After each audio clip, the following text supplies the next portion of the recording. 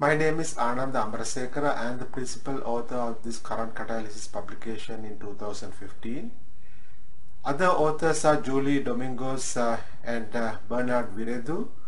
In this uh, publication, we have looked at the co-catalyst effect of zeolites on acidic ionic liquid catalyzed uh, one-pot conversion of cellulose to ethyl levulinate and levulinic acid. Ethyl levulinate is a 7-carbon keto ester that can be used as a blending fuel with gasoline and diesel. Currently, ethyl levulinate is prepared in low yield by the two-step acid catalysis method.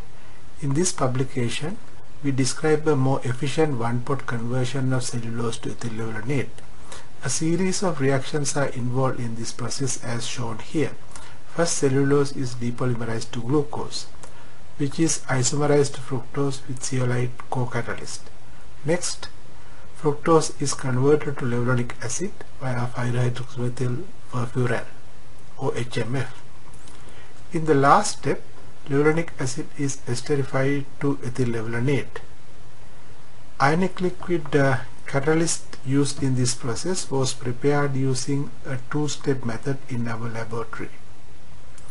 We have tested three different kinds of commercially available zeolites as uh, co-catalyst uh, for this uh, process. As results of these experiments, ethyl levulinate yields produced at different temperatures and times are shown here. Blue lines are for samples without any co-catalyst, red lines are for ZSM5 co-catalyst alert samples, green for zeolite beta, and purple for zeolite Y added samples. At 6 hours, ethyl levulinate yields are similar in all samples. At 12 and 24 hours, zeolite added samples gave higher ethyl levulinate yields. Especially higher yield enhancements are found with ZSM5 at uh, 175 degrees uh, Celsius.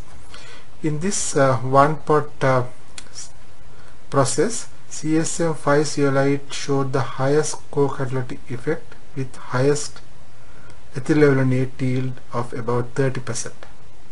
Whereas the sample without any zeolite uh, catalyst, zeolite co-catalyst uh, produced uh, only about 16% yield under similar conditions.